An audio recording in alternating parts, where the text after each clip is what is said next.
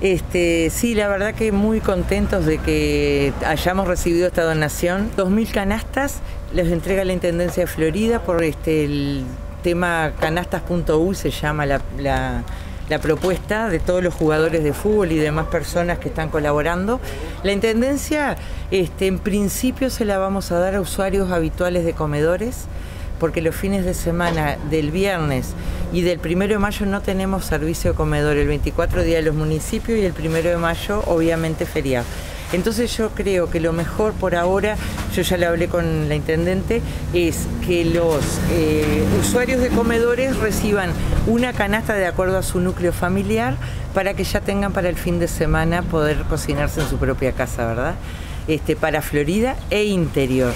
Así que yo creo que más o menos unas 500, 600 canastas se van a ir en el primer viaje y después vamos a ver eh, cómo vamos a seguir repartiendo lo demás.